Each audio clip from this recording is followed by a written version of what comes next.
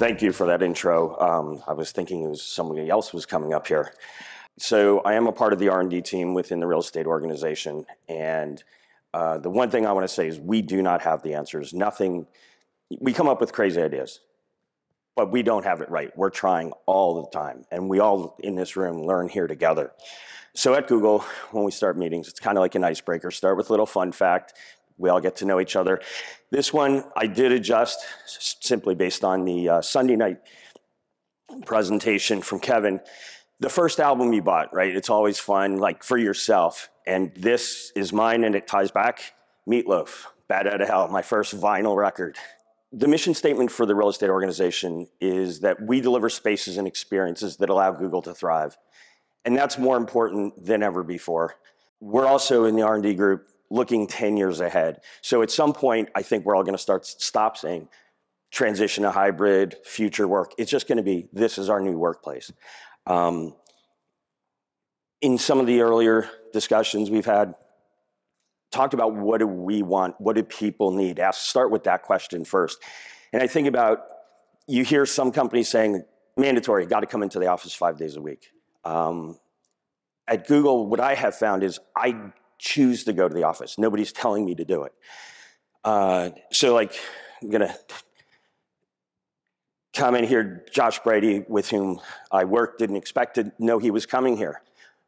But I'm using this as an example because when I saw him, my first reaction was to smile. I was like, so I was I so pleased to see him. That's the experience that we generally want to have, right? Every day we go, you walk through the front door in your house, see your kids, your family, you're like, oh, this is great. What if you have that experience to go to the office?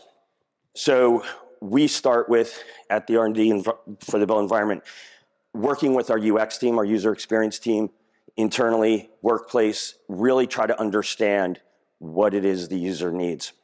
And we're always trying to innovate. And this skeleton, this T-Rex is on our campus as a symbol of innovate or die kind of thing, or go extinct. So we're always pushing this forward. Within the R&D lab, our mission statement is to create scalable innovations for the future of workplace. So we'll, we'll prototype, we'll pilot, and then figure out how to launch and take it across our 800 buildings globally my job is I get to play with Legos, right? We're inventing the Lego kit. And I really get to enjoy that. It's just at Google, we have slightly bigger Legos. So what we're always doing is, especially today, is exploring these connections. And we're trying to identify what is it we are trying to solve. Instead of saying, hey, we're, we're gonna do desks this way, go use it, it's start with the end user, what works for you, and then we design around that. We design from the inside out. So this user journey is really what, what drives us. And this was developed, this summary here was in conjunction with our user experience based on going out and interviewing a lot of our people. Pride of place is a big thing. You're excited to come into work. We have found it also makes us more productive. If you're inspired, you're motivated, you're emotionally invested, you want to come to work, you are more productive. Provides that physical connection. Technology today is great. We can work from anywhere, but it's also allowed us to be thousands of miles apart. So we're building environments that help bring our connection together and then also provide the physiological needs that we all enjoy as human beings. Why? We're trying to solve the world's biggest problems today in this room. Disclaimer, this is not ours, just it was a generic conference room, but I'm willing to bet every single one of us in this room has been in a room very much like this. There has to be a better way to collaborate and connect. So here's the old office. When I came out of architecture school, it kind of looked like this. Sea of desks, then we advanced to action, to action office. It was like, you know, 120 degree workstations. Oh, this is great. But again, not very innovative, not very inspiring. Then the tech startups and dot com seems to go back to the old office, just rows of desks. So we need to go find out how are we going to work today, what works better in today's workplace. So this view here is a drone shot from within our new Bayview campus. And it's a collection of neighborhoods and spaces that we're, we're working in here to, to address a variety of work styles. It's not just the sea of desks. It gives you places to be quiet and connect one on one over a call, private, quiet time, or with a team space. There's a variety. And this is where it really starts. This is in our space, um, our, our lovely R&D lab. It's kind of a maker space. A lot of our ideas start here, making models. And then we prototype. And so this, we, we build, you can see it's built out of plywood. We, we try a lot of these. We've talked about failing. How would it be if you were rewarded for failing? So many people are risk adverse because your boss or management's like, nah, that's not right. But what if you came up with something crazy and it failed and they said, man, that was awesome? We're gonna go and create new ideas. So then here, again, you can see we tried one in the round, trying to get, figure out this hybrid solution, people distant, giving everybody the same scale and presence in this environment. So that was just one example. And then these individual pods, again, these are mocked up in our own lab and we test these things out so that you have a team space. Like you can see the team table in the foreground here, but then you can go drop into a quiet place. So it's a neighborhood that's a collection of spaces that meets a variety of needs. Um, you know, just like we heard just a minute ago about the neurodiversity. And then you, this was recently published in an article. So then here, this, this Starline product gives everybody that full same scale and presence in talking to each other instead of looking at the little tiny squares.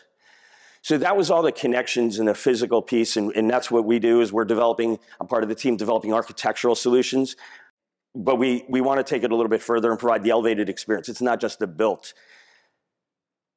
So the environment, our goal is to provide joy, well-being, and innovation through that space so that you, again, are inspired when you come through that front door and want to be there to see everybody.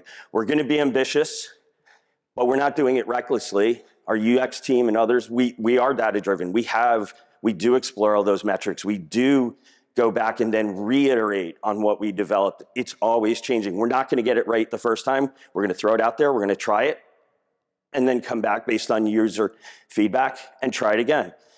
So this is the rendering and the intent here of when Bayview was being designed. At our lower floors is where all of the meeting spaces are, cafes, coffee bars, to really be like the, the, the town square. Bring people together, give them that connectivity, but then also spaces here where they can then disconnect from others and recharge. Amenities here where it's the casual all right, not the water cooler conversation. Here it's the nice, you know, barista conversation.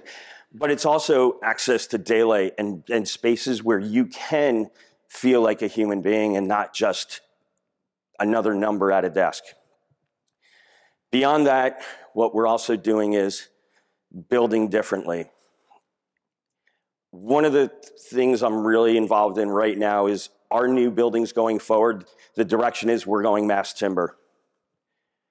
We talked about, Rex yesterday was talking about uh, cortisol levels, the stress, how that affects our health. Mass timbers, there are medical, there is medical data that demonstrates mass timber actually lowers, when you're in a wood building, it actually lowers your cortisol. They had a study where they had a hospital, steel and concrete, and one out of mass timber. The people in the mass timber building healed and were released about 15% faster than the people in steel and concrete. So it's a kit of parts, and that goes back to the Legos. That's what we're developing. It's sustainable. We are looking at buildings that are going to be there a long time. Can they be repurposed? What if they were disassembled? Can you reuse the parts? There is so much in that circularity that, that the mass timber buildings really help solve for, um, as well as just providing a great, wonderful experience. And this is our building that opens later, at the end of this year, um, our first mass timber building just sharing it with you. And we are using this as a benchmark that we're measuring our future buildings against for LCA, for efficiency, for cost. and so then we're going to iterate on that. So we have a prototype, then we keep going. This is not going to be 100% correct, but the mass timber building we do a year from now will be even better. So here's just an inside, a view inside. The other thing here is the beauty of the wood is we don't have to provide coatings. Apologies to Benjamin Moore, I know you're here, sorry. Um, we, we paint maybe the inside of the conference room. So anyway, but the, the mass timber again, I mean, how nice would it be to be able to sit in this space, have access to all this daylight, this healthier air, this wonderful environment. Again, you feel inspired and motivated to want to be in a space like this. And then on the sustainability piece, this is the LCA analysis that we did where this building, the total GWP, global warming potential, is a 75% reduction compared to if this was steel and concrete. So again, looking forward, we're always looking 10 years out, 20 years out, how do we build better? To then provide spaces like this where people are motivated to want to be together, connect, and enjoy coming through that front door like you do at home. And yes, we have lots of cafeterias and food is a very big motivation. But again, it's these casual conversations where just last week, sitting at the coffee bar in our Chicago office where I'm based out of, we went down the, the, our global lead for carbon. We went, we sat there for an hour, went down a rabbit hole, and, and wanted to save the world, and came out of it with 10 more action items because we were so inspired by each other. So these are just a few things we are doing. We do not have it right. We're going to keep trying. Thankfully, we have a really good Lego kit and I'm going to keep getting to, to experiment with those, which is great. And so I'm grateful for having the support of, of our teams. And like I said, Josh Brady here, who's brilliant and always fun to work with. Um, that's the kind of connection that we really enjoy. And it's from the physical environment that helps us all do better work together. Thank you. Well, wonderful. Guy, we, we have a some time for some questions. Anyone want to ask a question at all? Yeah. Uh, you're supposed to make him run.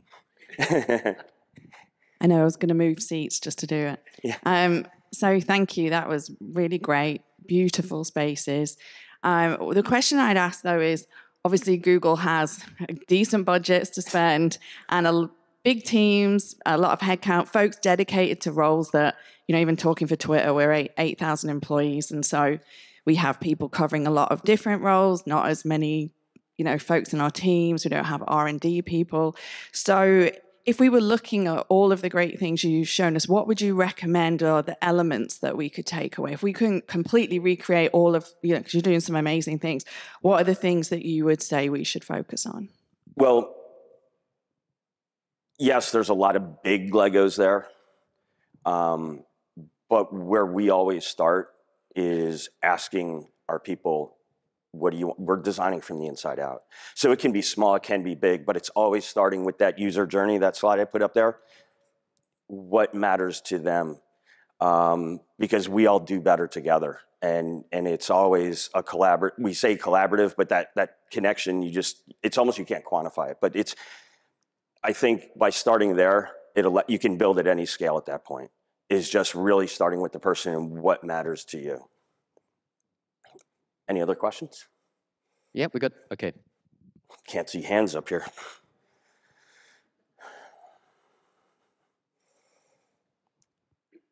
Wonder how much weight J Jason loses after one of these. Good morning. Thanks. Thanks, Guy. Um, yeah, great, great presentation. Uh, obviously, it's a beautiful space. Um, I guess my question is, I think a lot of people in this room also have beautiful spaces. We might not have as big Legos or as big budgets for creating such amazing spaces. Um, but I think we all put a lot of work into our space, and I was wondering what your return to office numbers actually are based on these these amazing creations, and how has that been impacted? It's if you look at my, if I'm doing this from memory, if you look at coming in, at, you know, every week, not five days a week, but me, if at least one or two days a week, I think we're approaching pre-pandemic levels. I think we're around 70, 80, 78 or 80% of people coming in at least one or two days a week. That's pretty amazing. Thank you. Is that right? Oh, one more. Thanks. I Doc. have to ask a question because I'm a big fan Oh, of your Nelly. work, guys. Uh, okay, what's up? Uh, no, I love because the way you presented it, it's not about a competition. It's not about to show your spaces versus anyone's spaces. It's how Google is moving forward and leading a movement. And so I really appreciate it.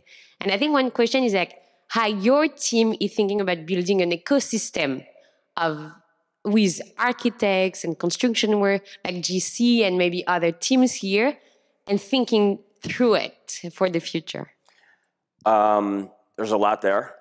It's y- you're right. It's we we do try to be out there and try new things, but I'm here today because I can learn from everyone in this room. I we don't do it in a vacuum. Um, it's th- there is there can be that Google bubble, but by getting out there and talking to all of you here, that's how we learn and are better. Um, and Moser is here and DLR Group is here. We're working with them. They're helping us be better. So, like with DLR, like I've, they were working on a building with us on a mass timber design competition. I was looking to them for what new innovative materials f- are they using. So it's we don't come up with it just on our own. It is a community effort. Guy, Guy, thank you so much. Another round of applause. Thank you.